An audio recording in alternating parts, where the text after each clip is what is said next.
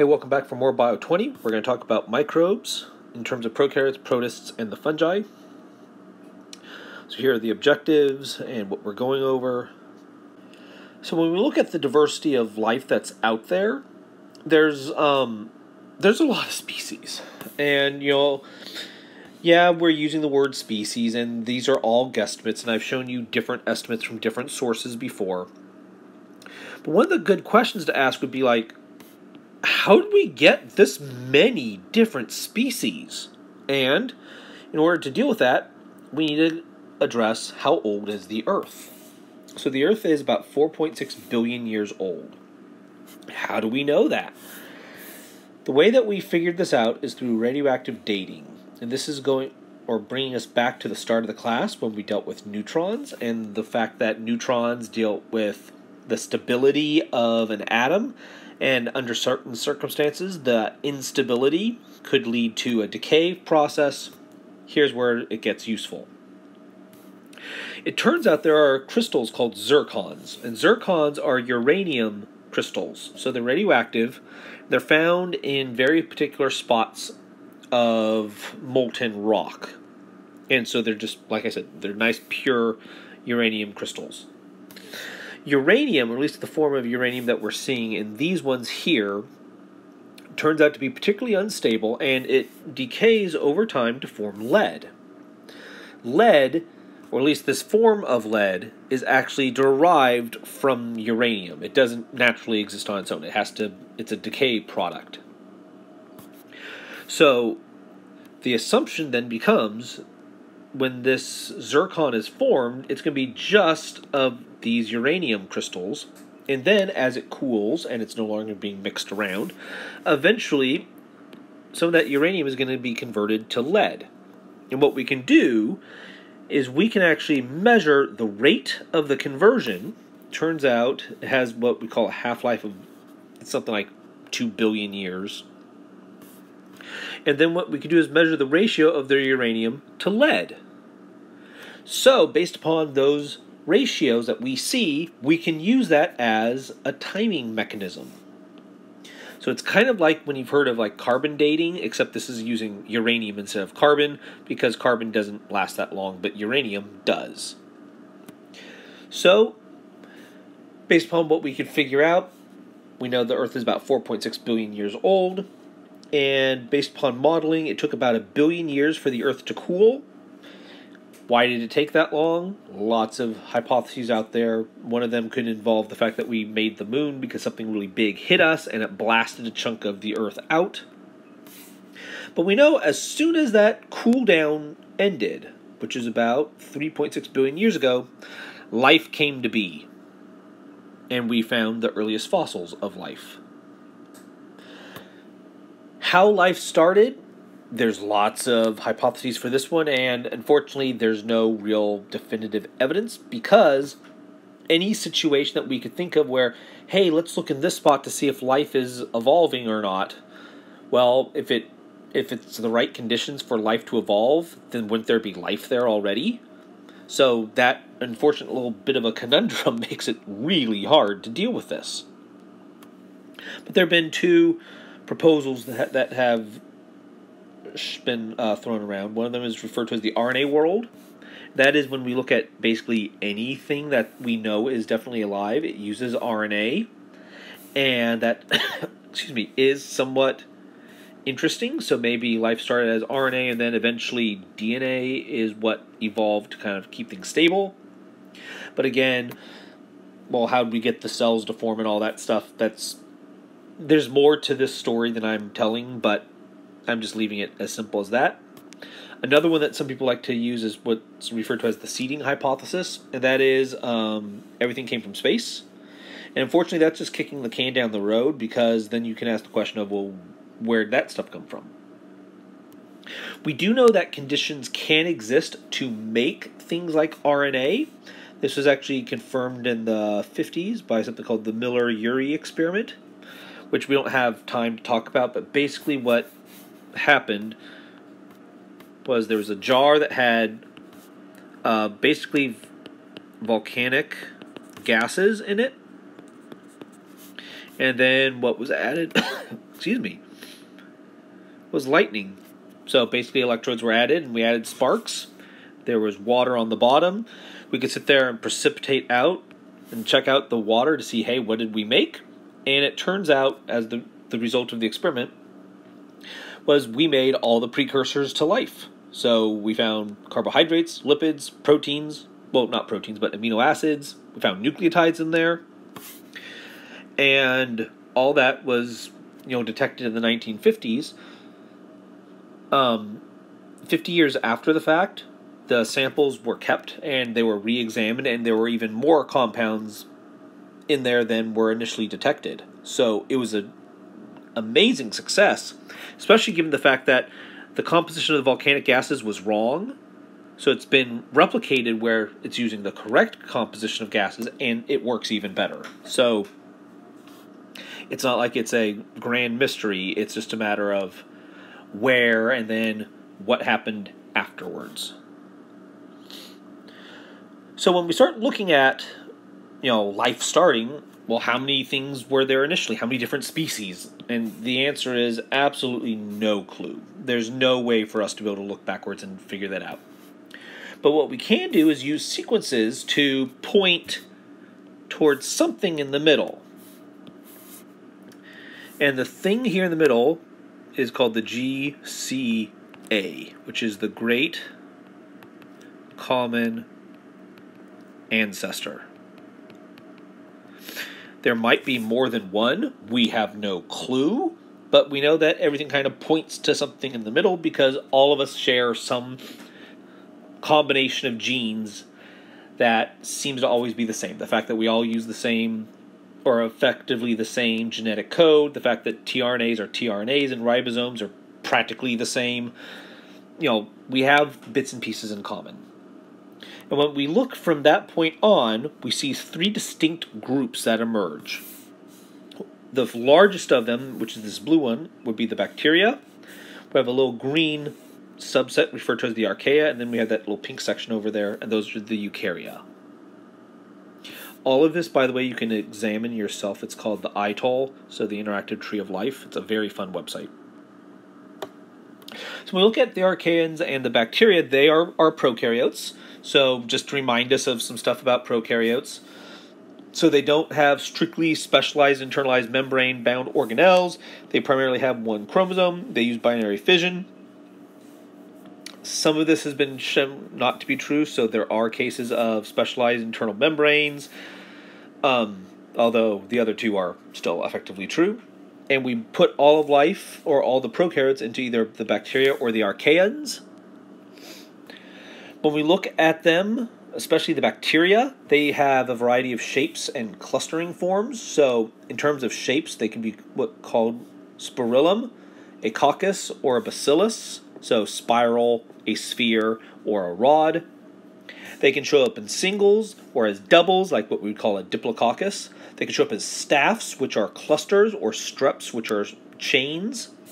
They can also form mats and then if you add some membranes to it, biofilms. So, like you get biofilms on your teeth when you're starting to get a cavity. The oldest evidence of bacteria, so us pushing that 3.6 billion year marker, are things that we call the stromatolites. These are present day stromatolites. So, these are bacteria that are capable of photosynthesis. And when we look at them, there's a whole, there's a massive set of diversity amongst the bacteria. And we know this through sequencing something called the 16S rRNA, which is a component of the ribosome. We do have a bunch of weird relationships with bacteria, so it's usually love hate. Most of us are terrified of bacteria, and we like to, you know, have soap and antibacterial whatevers, and we want antibiotics. And not all bacteria turn out to be bad. Actually, most bacteria just exist and you know if we just happen to be in the way they don't do anything to us and we don't do anything to them. So there's actually a lot of mutualism amongst bacteria so we need them on our skin. They help keep us actually from getting sick from other bacteria. Uh, in our intestines they can help us break down some food. They can give us vitamins. They could actually protect us from other invading bacteria. But we also know about them with their pathogenic and parasitic or parasitic um, existences. So things like E. coli and Staph aureus turn out to be um, you know extracellular pathogens, and there are various intracellular versions like salmonella infections. We also need them as decomposers, and we also use them to help us get rid of stuff that we don't want to keep around. So bioremediation, we also can transplant bacteria to try and you know rejuvenate environments. These all turn out to be foods that are made by bacteria because of fermentation. The archaeans are what we refer to as extremophiles, meaning they happen to like situations that aren't as normal. So there's really high or low pH, or very high temperatures, or very low temperatures, or high salinity. Genetically, they're more eukaryotic than they are prokaryotic, which is kind of fun. In class, I showed this as a video that I took in 2001 of Volcano National Park. In particular, this is a section referred to as the Bumpass Hell because of what it looked like. Um, so, Volcano National Park is it's volcanic, and now that I'm looking at my picture of California, I totally have missed a good chunk of it, but I'm not going to redraw it. So, Volcano National Park is way up in Northern California. And you see all this coloration that you see here? All of that coloration is due to minerals and due to archaeans. It turns out there's a whole bunch of pots of like boiling water in this area, and all of them have life in them, and all that life turned out to be archaeans. When we look at the origin of a group of eukaryotes called the protists, we think that it came about due to a phenomenon called endosymbiosis, which, in super simplistic terms, the endosymbiotic theory would be we had some type of original prokaryote that decided it was going to eat a bacterium, but for whatever reason, it didn't. What well, ate it, but it didn't digest it. So it was not digested. And that combo of having this bacterium that wasn't digested gave an advantage to this bacteria, to this you know primitive eukaryote. And the result would be over time the eukaryotes that happen to have mitochondria. Additionally, we could have different mitochondria containing eukaryotes that engulfed back or engulfed some type of photosynthetic bacterium, and that became the precursor to plants for us, or some versions of protists. It turns out we can find organisms that are eukaryotes that don't have um, mitochondria. So it is one of those like, oh, so clearly there are remnants from the past where they aren't there. And we also can find some weird patterns with some chloroplasts words are hard, where they turn out to have multiple membranes, like four membranes, and that's why do they have that? And it's due to repeated endosymbiosis. For the sake of saying it, this pattern here explains why mitochondria and chloroplasts have two membranes. So we have mitochondrion right here, so it'd have one membrane, but if it gets engulfed by the cell, that engulfing would give it a second membrane. And it turns out we even know what bacteria and chloroplasts they might, or the mitochondrial chloroplasts, what they might actually be. Mitochondria are most likely alpha proteobacteria because there are bacteria that look and behave just like mitochondria. And the chloroplasts are those blue green algae that we've met earlier. The term protist itself is a junk term because it's basically saying, hey, you're not a prokaryote. You're not an animal, you're not a plant, you're not a fungus. So we're going to call you a protist. And in biology speak, this is referred to as being a polyphyletic clade, meaning we're clumping all sorts of different organisms. So the excavata and the chromalveolata and the rhizaria and the archaeplastida and the amoebozoa and the opisthokonta like we have all these that are really weird together, and we're just kind of clumping them all up. And saying, see, these are all protists, even though they don't necessarily have anything to do with each other. when we think of protists, typically we think of them as parasites because those are the famous ones that we come across. There are others that aren't parasitic that you also come across, but these are usually what we think of. So the the one that I usually think of immediately is Plasmodium, which is um, the causative agent of malaria. One of the reasons why it's so difficult to get rid of it is because it's a eukaryotic cell. So you have to figure out a way to target a, a eukaryotic cell that's not yours. There's others like trypanosome, which causes things like Chagas disease and um, African sleeping sickness. There are also mildews that cause phenomena called blight, which is like the potato famine. We have amoebic dysentery, which is explosive diarrhea, and we have giardiasis, which is caused by Giardia species, which I'll show you a picture of that in a moment. But there are some beneficial ones too. I mean, protists can, you know, take out, you know, dead tissue. Dinoflagellates are really pretty, so they help coral exist, and you know they're the cause of you know the sparkling ocean if you've ever seen that algae turn out to be protists. If you've ever used or seen diatomaceous earth, it's used for uh, baby powder. And also agar and agarose. Hey, you used agarose in lab. This is Giardia. So the the eye thing is actually because it has two nuclei. It's not because they actually have eyeballs. The fungi are the weirdos because now we have to start having some definitions. So when we define fungi, what we say is they're made out of this stuff called mycelia, which are these long chains of fungal cells. Some of them are like totally separate, like I have it drawn, and others actually have like a thin little connecting line between them all. So it's called non-septate and whatever. Um, they turn out to have polysaccharide cell walls, and they use chitin. They have very strange life cycles. They tend to be very complex. So if you thought like the life cycle for plasmodium, so the causative agent of malaria looks weird, like it gets worse with fungi. They primarily exist as haploids and they only become diploid when it's time to reproduce. They use spores, and we don't call them like sperm and egg, we call them plus and minus gametes or plus or minus haplo or uh, types, mating types. This here is an example of that. This is for what we call the Ascomycota so these are the sac fungi.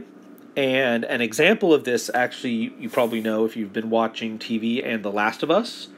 Cordyceps fungi turn out to be Ascomycota, and they would use a version of this reproductive cycle. The big deal to notice is how they form these spores. These spores primarily are used in asexual reproduction, but every once in a while we'll pair up some mating types we will actually get fertilization, meiosis occurs, and then we're right back to where we were as being haplotype. Or haploid. Excuse me, not haplotype, haploid. In terms of how they function, they are heterotrophs, so they have to consume to eat. They are not photosynthetic. We do think of some of them as being parasitic, especially with plants, they are parasitic. They can infect all multicellular organisms. Um, if you've ever had athlete's foot, that's a fungal infection of your skin. There's actually a condition that some people are worrying about called valley fever or coccidiomycosis. And this is due to breathing air, and it's a type of pneumonia from a fungus, which is not normal. Fungi normally do not cause pneumonia, they do not cause things like meningitis. But when they do, and you're susceptible to it, it's bad.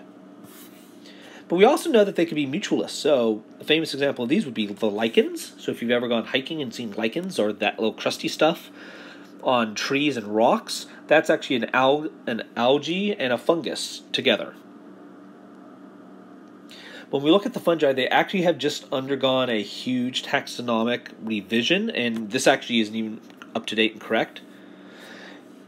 But the Cryptomycota would be the water molds. So I showed you that wasting disease of frogs last session. That's actually from one of these. The Zygomycota no longer exist. They've actually been broken up into other groups. So the the Mucoromycota and the Zoopagomycota, they're so new I don't know anything about them. Ascomycota are the sac fungi like cordyceps. Basidiomycota are the club fungi. These are the ones you've probably seen. Things like you know the mushrooms, that you, button mushrooms that you would be eating. And then another group are called the glomeromycota or glomerular fungi, and these actually help out with plant roots. They actually form little nodules and they help plants do their thing. So, next time we're going to start talking about viruses and a little bit about the immune system.